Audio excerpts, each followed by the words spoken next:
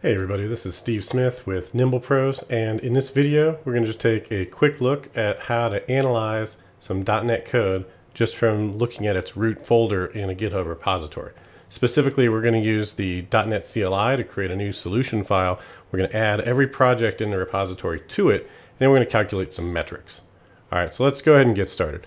I'm already in a repository folder here that has some repos under it. This is uh, just some different GitHub repos under .NET architecture. A lot of good samples there. Let's take a look at uh, eShop on web to get started. So we'll just come over here to eShop on web. We're inside of the eShop on web folder and there's already a solution file in there for eShop on web. So we're going to create a new solution and we're going to just put everything into that solution. So we're going to start with .NET new sln-n for the name and I'll just call it everything.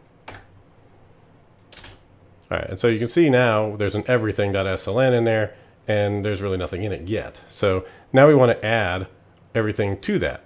So for that to work, we're just going to do a command at the PowerShell script that's going to recurse through all subfolders and find anything that's a csproj file. You can modify this to add other types of project files too if you want. All right, so this command is just .NET SLN add, and that's what you would use to add a single CSproj file if you if you knew the file. But in a large repo that maybe you're not familiar with, you just want to kind of gather some data. Uh, you don't want to go spelunking through every folder to find all the different project files. This can be a great way to just quickly load them all into one solution. This works great inside of documentation repos or samples inside of repos that have a, a different project file for every sample. Uh, and so it's a, a nice way to just pull everything together real quick.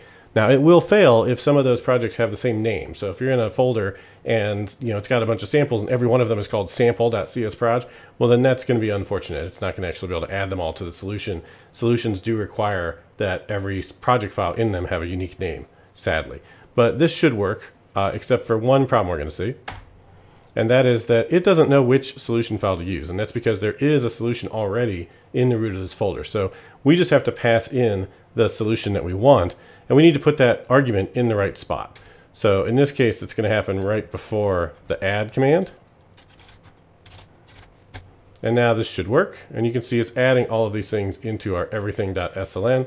Now you may not know that you can just open a file uh, in Visual Studio by just hitting the solution file in PowerShell and hitting enter. That's opening right now on my other window. And then just to uh, show you why you might want to do this, uh, aside from the fact that now you've got all of these things inside of one solution, you can also start to run some code metrics. So give this a second to load. And then if you have the appropriate version of Visual Studio, you should be able to go up into the Analyze folder and then calculate code metrics for the solution.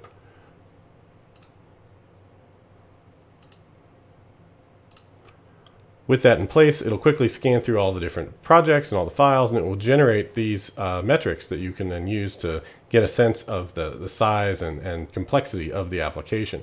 One of the ones that I use sometimes I'm just trying to scope out how much effort there would be to perform some maintenance work on a solution in uh, an open source project or something like that is just the total lines of source code.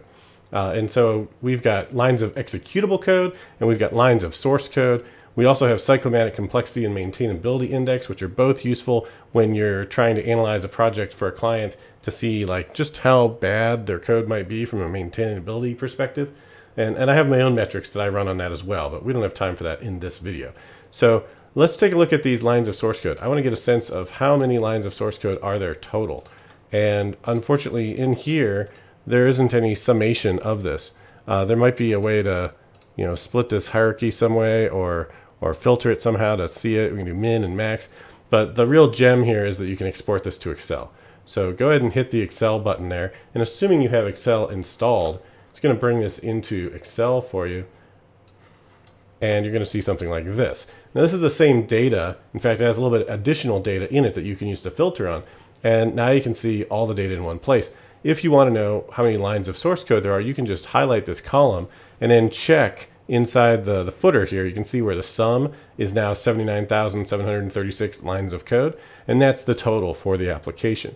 The other thing that is sometimes useful is if you want to get a sense of just like how many types is that, how many classes uh, are there. Usually that's a, a almost a equivalent to how many files there are if they're doing one class per file, but not always. You can do the same thing over here, just in the filter for the scope, choose the type and say OK. And this will now tell you how many of those there are. And if you highlight really any of these, uh, it'll show you a count. And so now we know the count down in the bottom right is 318 different types. Uh, and so that gives you another sense of just how big this is. While we're in here, another thing that can be useful if you are trying to deal with cyclomatic complexity, I'll just add this as a bonus for you. You really only care about that at the method level, which in this case is going to be a member. So we'll say OK. And once you have uh, sorted this down to member, then you can filter this by largest to smallest and see where the highest cyclomatic complexity lies. Ideally, you want to keep this under 10 per method. And so in this uh, sample right here, you can see there's a couple that are just at the edge of, of 10 and even 12, but by and large, most of them are, are within that criteria, within that threshold. All right, so that's how you can quickly just load everything from a folder into a single solution file and then perform some analysis on it using calculate code metrics. If you found this useful, please go ahead and like it, share it on social media, leave us a comment, and of course you can always follow us if you want to get notified next time we post a new video. Thanks.